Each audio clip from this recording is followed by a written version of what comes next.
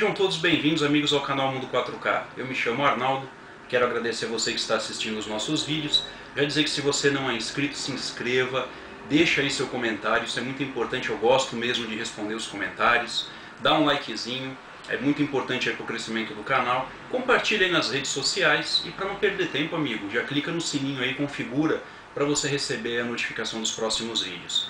É, eu não sei porque às vezes o YouTube não está mandando notificação, mas sempre verifique isso. Se você não está recebendo aí é, a comunicação de novos vídeos, verifique isso aí, porque toda semana a gente está pondo um vídeo, ou de manutenção, ou de programação, ou alguma série em específico, mas toda semana sai um vídeo. Bom, no vídeo de hoje, um vídeo de manutenção, eu quero mostrar para vocês aqui esse belo Atari 2600 da Polivox, eu já estou com um pouquinho de dor no coração, meio com aflição, porque ele veio com um AVMod feito dessa forma, né? E eu, nossa, eu odeio ver isso aqui numa carcaça da Atari, né? O recorte. Se a gente olhar aqui, de, de frente aqui, a gente tem um buraco aqui, ó, já bem grande, onde sai todos os cabos, dá para sair todos os cabos aqui sem você precisar cortar a carcaça, rasgar, furar. Eu não gosto muito disso. Fico meio, fico meio assim apreensivo quando eu vejo dessa forma, né? porque há um, há um, jeito mais fácil de se fazer, sem precisar furar, adaptar uma peça como essa aí que fica estranha, uma que até aqui, a, aqui está aqui, não dá nem para definir qual que é o áudio, o vídeo, não dá para se definir. Bom, mas cada um faz de uma forma, né? A gente às vezes fica à mercê do, do, da, da forma que as pessoas fazem as coisas. Esse console, ele veio pelo nosso amigo Luiz Henrique, ele entrou em contato comigo e disse assim, poxa Arnaldo, eu tô com um Atari aqui que tem AVMod, mas a imagem não tá boa, não tá dando imagem direito, tá com uns problemas aí, eu não sei o que fazer. Decidi então mandar para você, você aceita pegar aí para mexer? Eu falei, claro, com maior clareza, pode mandar aí que a gente dá um jeitinho nele para você, certo? E ele me contou a história dele, né? ele falou assim, poxa Arnaldo, os games né, acompanham a minha vida. Lá nos anos no, no, em 87, 1987, eu tinha aí por volta de 7 anos, né, e meus pais chegaram em casa então com um Atari, né, e foi aquela, aquela maravilha, né, foi o, o centro das atenções, né, foi aquele Atari. E ele falou que ele lembrava que eles faziam campeonatos ali, ele chamava os amigos, né, e jogava ali, fazia campeonato de enduro, de river raid, né, de Pac-Man. E quando ele falou isso daí, eu comecei a relembrar a minha época, né? Lá em 87 também eu ganhei o meu Atari CCE. Eu tinha por volta aí de 9 anos na época. E nossa, era uma coisa assim impressionante para mim, né, ver algo nesse sentido, porque os meus irmãos mais velhos já jogavam fliperama, né? E perto de casa tinha ali um fliperama lá onde eles jogavam. Então a gente só sabia de videogame ali no fliperama. E quando eu comecei a ver na televisão comerciais do Atari, e a gente ganhou ali no caso em 87 o nosso, foi uma coisa impressionante. Então eu me vi muito na história do que o, o Luiz Henrique contou. E ele falou assim, poxa Arnaldo, é tão legal a gente reviver essa época, a gente só, só revive mesmo jogando no console original. Porque no emulador é interessante, é interessante, é legal, a gente relembra, mas não é a mesma nostalgia do que você segurar um controle, um controle de Atari e jogar. Você vê ali, você encaixar o cartucho nele e ver ele funcionando. Né? Então a gente só relembra dessa forma. Bom, eu achei muito interessante isso porque a proposta do Atari era essa mesmo, né? E o console ele deu tão certo, tão certo que até hoje ainda ele causa esse sentimento. E é muito interessante, eu estava esses dias aqui testando um console de um, de um dos inscritos, né? E a minha sobrinha, que tem 12 anos, estava aqui em casa. Ela falou, nossa tio, deixa eu jogar um pouquinho isso. E ela ficou maravilhada, ela falou, que coisa impressionante, tio, que legal. Eu fiquei jogando junto com ela, né? E como foi legal e nostálgico isso. Então, assim, o Atari ele consegue atingir até na nossa época, numa época onde tem tantos games, tanta informação, tantas coisas assim diferenciadas, né? É, ele consegue arrancar ainda, né, da, inclusive dos mais novos ainda, essa mesma nostalgia, esse mesmo sentimento. Bom, vamos abrir o equipamento, vamos ver o que foi feito. O equipamento ele veio com um selo aqui de uma empresa, provavelmente a empresa que fez isso daqui, né, porque aqui ele está fechado, está bem selado, Né? Então foi a última, a última pessoa que mexeu no equipamento pôs esse selo aqui. O que eu fico impressionado né, é que a pessoa põe um selo aqui de garantia, tudo direitinho. Fez assim dessa forma, recortou, tudo bem. Às vezes é o padrão da empresa dele, mas ele colocou aqui um parafuso de um jeito e outro parafuso de outro, né? Então quer dizer, numa coisa que é à vista, que já está feio por ser à vista, assim, né? O cara ainda põe um parafuso diferente do outro, né? Então a gente já vê a qualidade né, do serviço aqui, né? Então aqui eu vou tentar tirar esse selo aqui, o selo sai super fácil, né? Ele despedaça inteiro. Mas se já que vai fazer algo nesse sentido, tenta fazer pelo menos o melhor, né? O melhor, o melhor do melhor, né? Por isso que eu não gosto de, de recortar a carcaça, de furar, porque nunca fica bom, sabe? Nunca fica bom. O equipamento aqui ele já tem um, um recorte aqui onde sai o cabo AC, né? E o cabo do, do RF, que é deste lado aqui, ó que já tem um espaço bem grande já, né? Então você poderia estar tá puxando aí pelo, por aí. Já vamos ver aqui como é que está o equipamento por dentro. Né? Bom, é, a pessoa fez o AVMOD praticamente do jeito que eu faço, né? colocando aqui um, um, um transistor, né? colocando aqui, puxa, levantando aqui o, o, os resistores, né? ele pela, pela forma que está aqui mexido aqui na placa, né? Ele não levantou nem aqui por baixo para soldar, ele encostou o ferro em cima dos resistores e puxou. A gente vê todo o arranhado aqui. E ele não desligou o áudio né, pelo pino 12 e pelo pino 13, ele soldou diretamente aqui embaixo. E isso aqui não é legal fazer dessa forma, porque o áudio vem para cá, passa por essa parte aqui, onde mistura para vir para o RF. Então, junto com o vídeo aqui, nesses resistores que tem aqui, ó, onde a gente puxa da junção aqui do R49, né, do, do, do, do R48 com o capacitor para ligar na, na base do, do transistor no, do BC548, está vindo a interferência de áudio, então isso causa ruído na imagem. Né? Então é, é aquela questão, a pessoa quer fazer de uma forma mais barata, ele não trocou os capacitores, ó, capacitor velho, capacitor velho, né? Então, é assim, às vezes a pessoa paga um serviço como esse e não paga pouco, não, paga mais de 100 reais para fazer um serviço como esse e faz um serviço porco desse jeito, né? Ainda fura, recorta a tua carcaça. Aqui é uma placa é, de, de, de composite, uma placa muito bonita por sinal. Provavelmente essa placa veio com proteção metálica, tá? E a empresa que fez esse servicinho aqui arrancou a proteção metálica e deu fim porque quando vinha assim em composite, vinha com a, com a proteção metálica, não vinha sem a proteção metálica. Aqui eu vejo que ele é do dia 7 do 11, mas não marca a data, deixa eu ver se aqui não tem etiqueta para a gente ver. Mas provavelmente aí é de 85, 80, 86, 85, 86, começou a sair mais com placa assim de composite.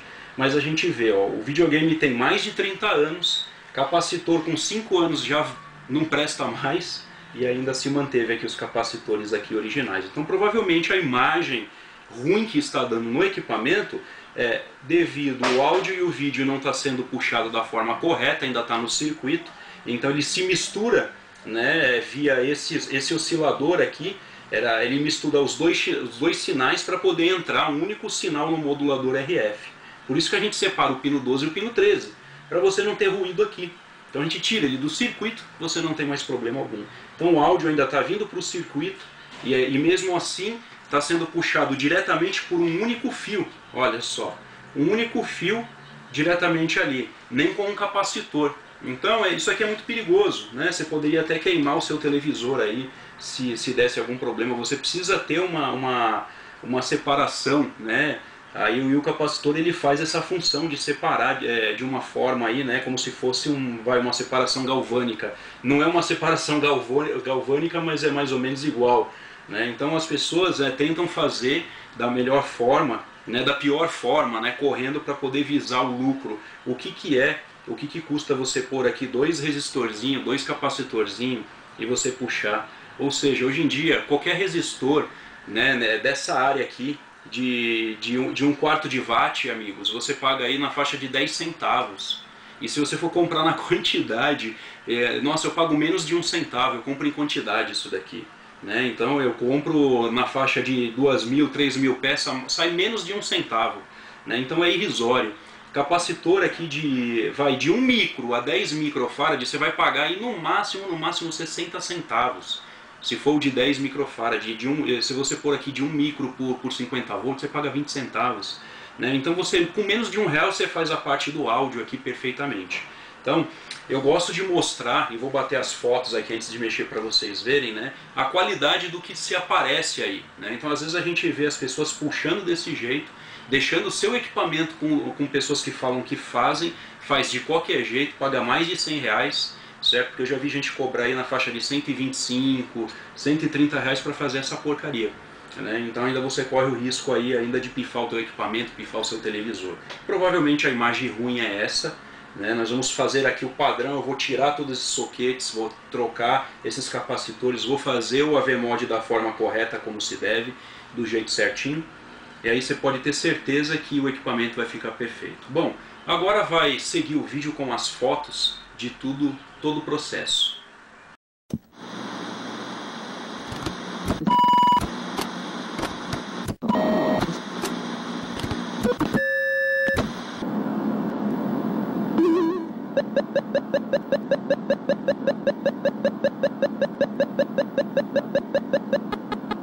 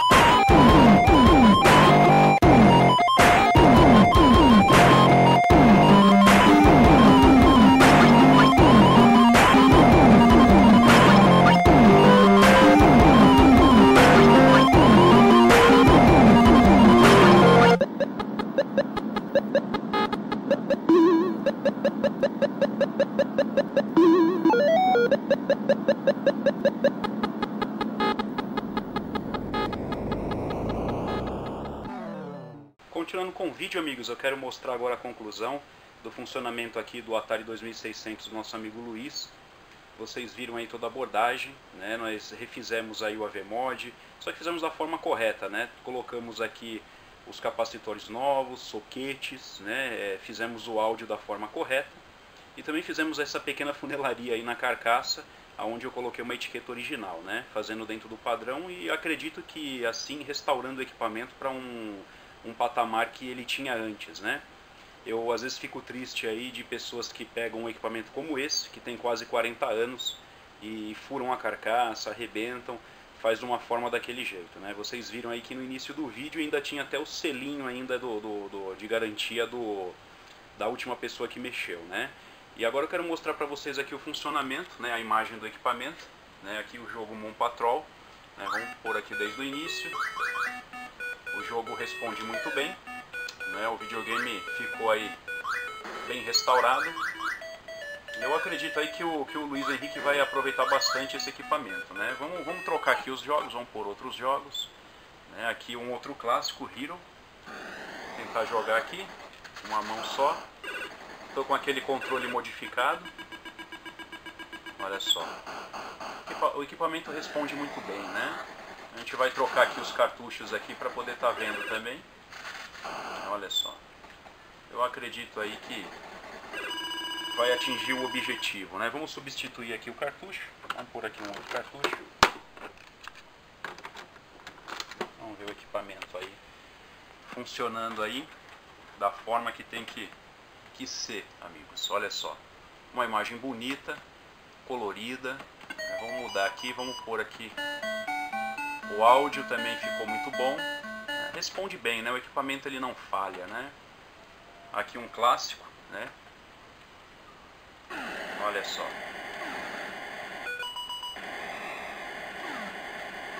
Eu acredito aí que o Luiz vai usufruir bastante desse equipamento, né? O equipamento não falha, né? ficou muito bom aí.